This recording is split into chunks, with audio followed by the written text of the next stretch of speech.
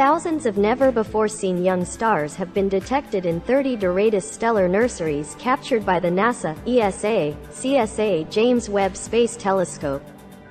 Named the Tarantula Nebula for the appearance of its dusty filaments in previous telescopic images, this nebula has long been a favorite of astronomers studying star formation.